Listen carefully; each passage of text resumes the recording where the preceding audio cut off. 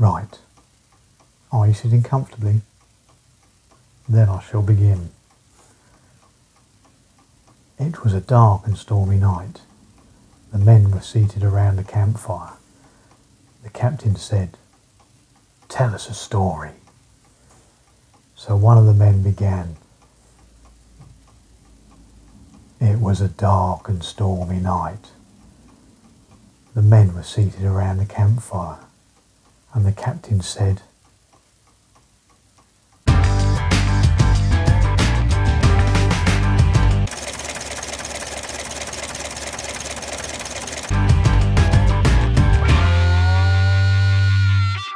Hello, welcome to Tweed's Garage where in this video I'll give you a little slideshow presentation of the first vintage car I purchased before the Riley. Um, uh, unfortunately I've only got a little bit of video of it so uh, you'll have to bear with and I'll tell you the story.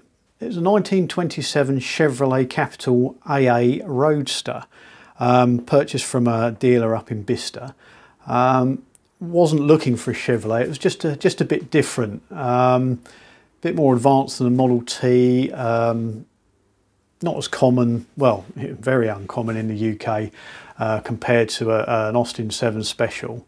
And it sort of had a bit of presence to it and it looked smart and the, you know, the, the wooden wheels were, were, were, something we don't see so much in the UK uh, on, on cars of this era. So, um, so yeah, I was I was quite taken by it, and uh, took the good lady up to see it as well, and she she liked it, so that was a you know that was a good thing to do. Um, it was a non-runner um, and the dealer told me that the owner said that it was on the road about a year ago. Um, as I've said before in videos, uh, on, found out on the Riley and I found out on this car, yeah, it hadn't been on the road for years and years. Um, but we managed to get some petrol in it and it started up straight away It ran for a little bit, but you know wasn't wasn't great. Wouldn't tick over, um, but did hear it running, and there wasn't any knocking or horrible noises coming from the engine, and it looked like it had been restored at some time and, and kept up in a reasonable condition. So I I took the chance and uh, purchased it.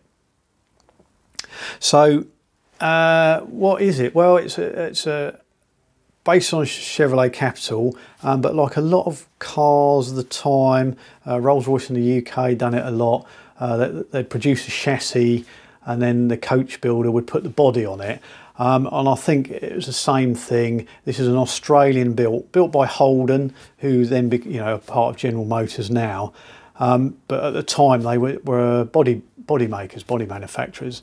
So I think it was probably done like a lot of this was to get round import duties of cars from different countries uh, of manufacture. So they'd ship in a chassis and then a local bodybuilder would put their own body on or it would all be sent out in kit form and then it would be assembled as a, as a kit to uh, get round the uh, duties. The uh, specification for it was it's a four cylinder overhead valve 2.8 um, engine, which was unusual at the time for American cars. Most of them were side valve.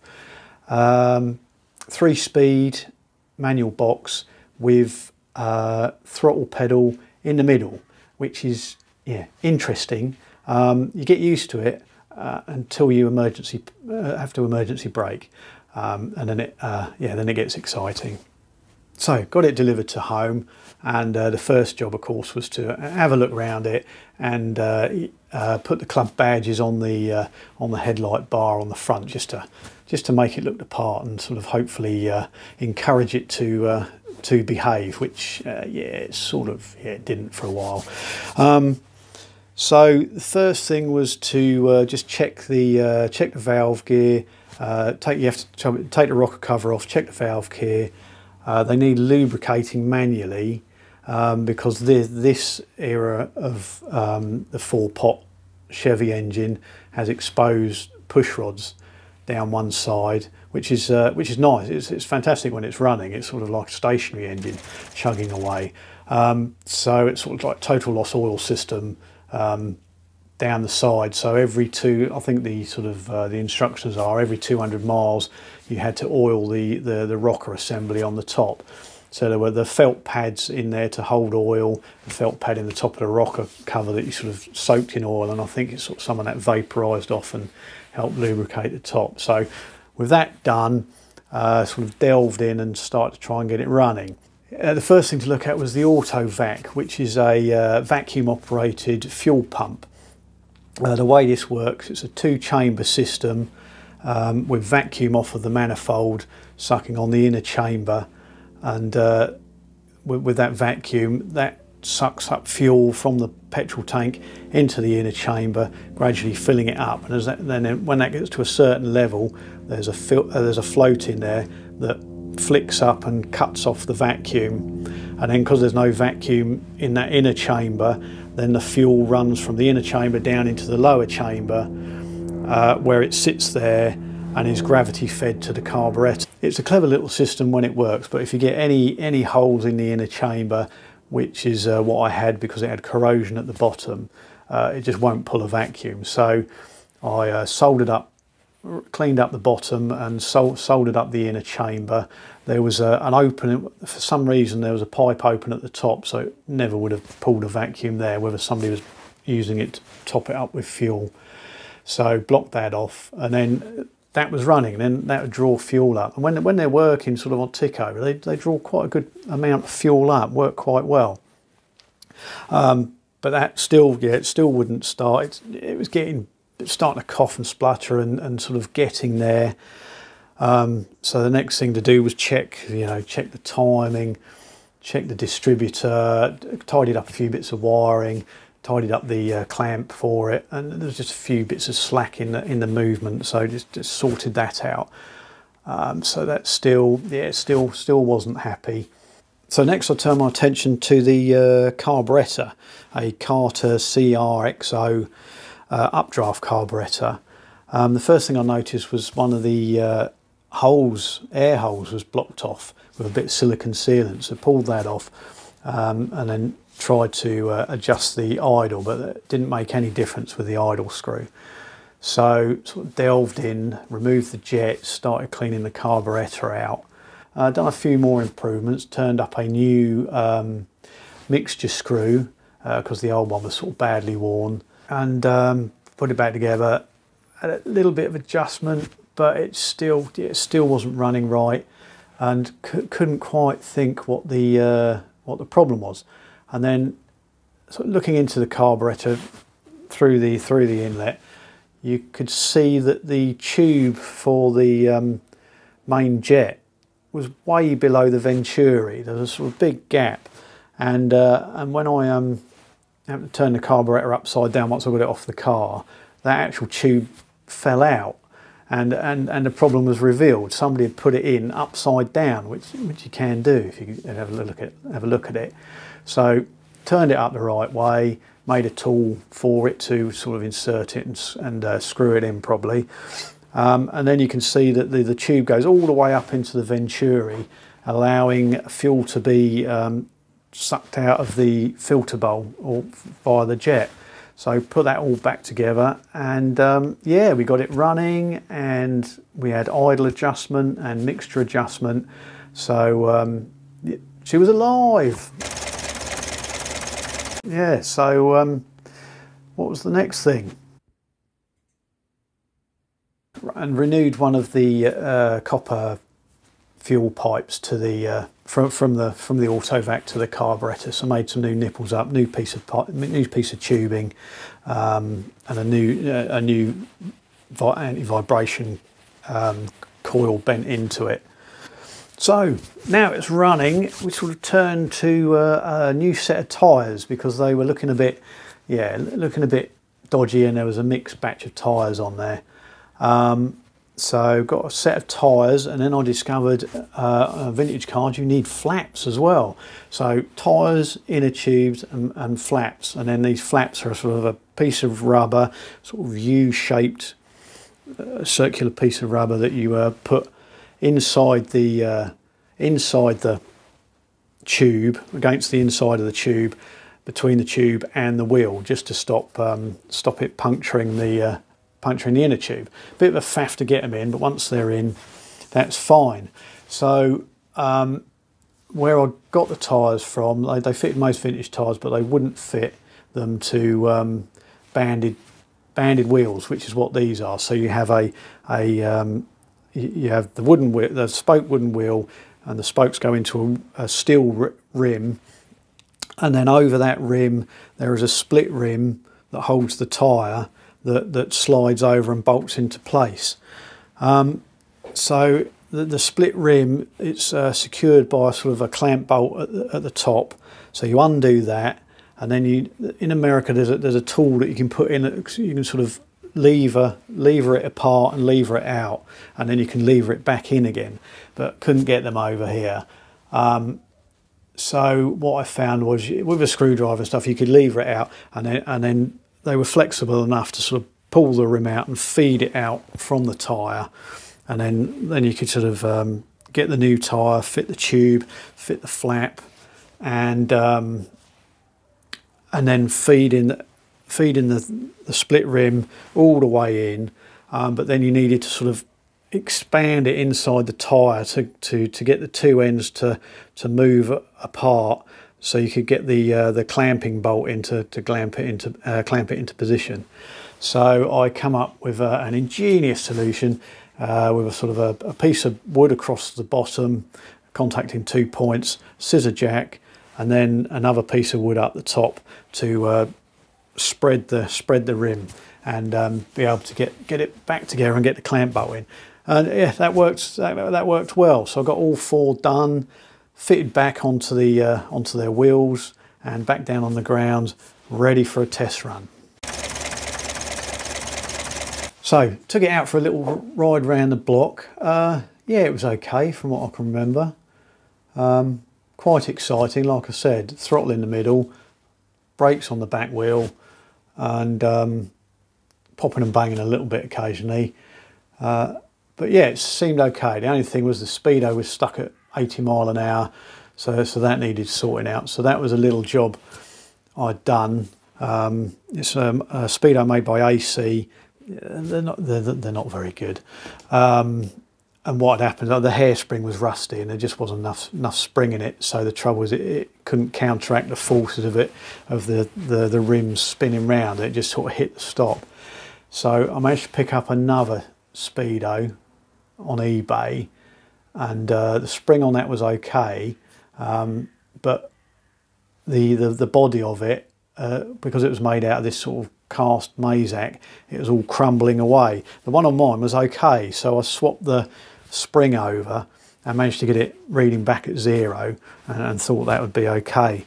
Um, so it was out for another out for another test run. A friend come out with me and uh, all right so far. I got halfway around our little loop circuit. It was not far. Um, yeah, and just sort of making a horrendous screeching noise coming from the transmission somewhere. So had to uh, put it back in the garage and uh, delve around and try and find out what that was. I discovered that the um, the axle is on the on the Chevrolet is very similar to the axle on the Riley. So it's like a, a T axle. So you've got your back axle with a torque tube with the drive shaft inside it running from from the from the uh, differential all the way up to the gearbox and then you just have a single universal joint at one end and, and like the Riley the, the, the, back axle swings within its spring mountings. Um, at, the, at, the end of it by the gearbox the, the drive shaft runs in a phosphor bronze bearing in the nose of it and taking it apart discovered this was badly worn um, but strangely it was worn on one side rather than top and bottom. You think moving up and down, it'd you know be worn that way, but it was actually worn sideways on one side.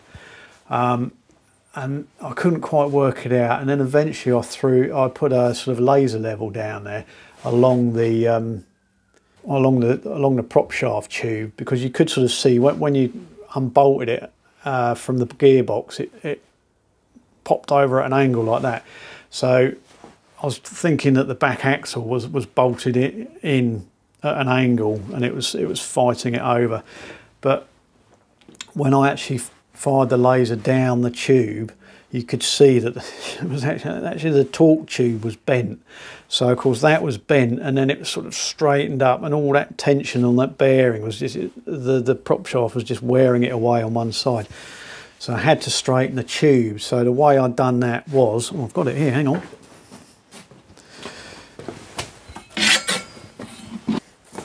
Still got it.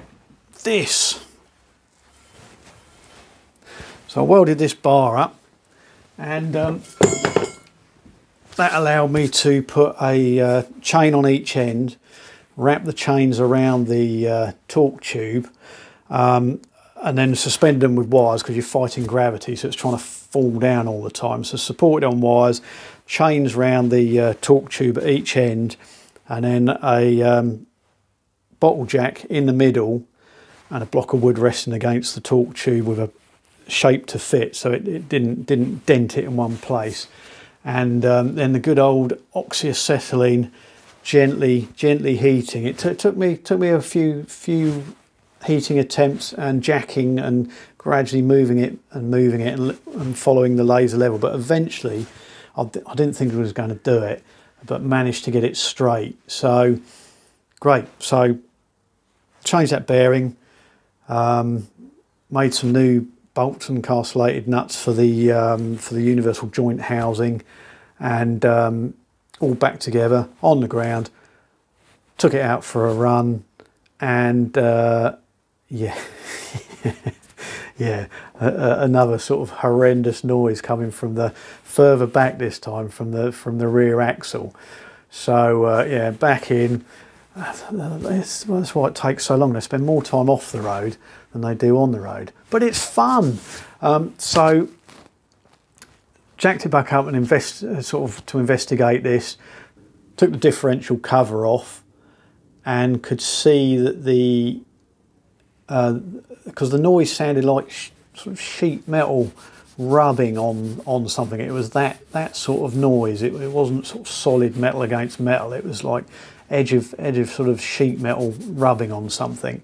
And uh, looking into the, the rear axle, um, discovered that the, uh, the, the, the differential bearings for the crown wheel were yeah they were knackered. They they were they were worn and they dropped. And what was happening, the shields and the bearings were rubbing on the inner races.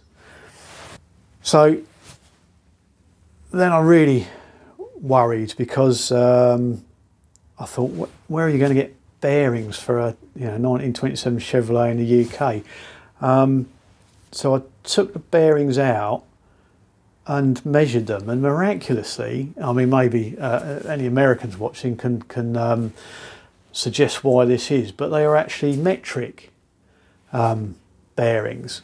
So 1927, after the Second World War, reparation payments, was there a load of metric bearings kicking around, you know, that were sort of taken back from Germany and bunged in storage. I, I don't know. It's just just just very strange. But anyway, it, um, it was to my advantage because um, one, I decided to change the uh, roller bearings to taper bearings, and I sort of looked at axles, you know, more modern axles and later axles, and they all use taper bearings and I managed to find a uh, and, and, looked into a bit, and it was it was doable. Didn't seem a problem. So um, yeah, my local bearing suppliers they they had them on the shelf, so I just went and bought them, and um, got them back, heated them up in the uh, yeah in the uh, garage oven, and uh, popped them on, and then reassembled it all, set up the backlash, and set up the side side play.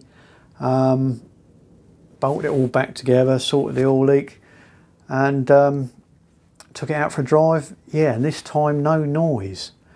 So there it goes. It was all up and running, and, um, and then the next job to do wasn't really important, but the seat was very bouncy, uh, more bouncy than than it should be. And when I took the squab out, turned it upside down, uh, it, when it had been restored, somebody had used, God knows why, had used a piece of chipboard um, so chipboard's okay, but when you've got springs and that bouncing against it and damp and cold in the garage, it, it just it just sort of it had broken up. It had split in three places. So I took the uh, unpinned all the all the cover, took all the springs off the board, cut a new piece of ply, and then um, reattached the springs, uh, string them all together, and um, and then covered in Hessian and uh, foam and uh, reassembled it all. And uh, yeah, I'm quite, I'm quite pleased with the result. It turned out turned out really well. And uh, it was very comfortable when you were driving. I described it as driving a fidgety armchair because it was bouncy. There was no shock absorbers, so it was very bouncy. And uh, driving it was exciting, especially cornering because you'd go into a corner and you'd never know which side of the road you'd bounce out on when you come out the other end. After about a year, finally got it running, starting on the button. Uh, it did always start, once it was sorted, it would always start on the button. And um, yeah, as you've seen in little videos, it ticks over lovely. I did also turn up a few little bits and bobs on the lathe. I made some um, knobs for the rocker covers and and the tops of the um, the, the, the fold down roof uh, because they were nuts. So you needed a spanner every time to either drop the roof down or when you're oiling the rockers, which needed like I say doing every 200 miles, you had to find a spanner to take the rocker cover off. So I made some uh, little aluminium thumb wheels that uh, made made, uh, made made servicing a lot easier. I also turned up a nice little brass horn button because the button on there was uh, it looked like it was off an old aerosol can or something. So um, yeah, it wasn't wasn't very good. So on the lathe again, just turn up a nice little brass brass button for the horn, which was uh, yeah quite satisfying when when uh, pushed. Also, the uh, when parked up, noticed that the radiator was sweating a bit down at the bottom um, and after a couple of little test runs it gradually started getting worse. So uh, took the radiator off and um, cleaned the paint off and had a little look. It had been repaired before. So um, I sort of unpicked some of the the, uh, the repairs uh, and made new repairs to the, the, the bottom of the radiator Um, so we, uh, the wife and I, we'd done a few, went away for a pub lunch and a few uh, little local car shows.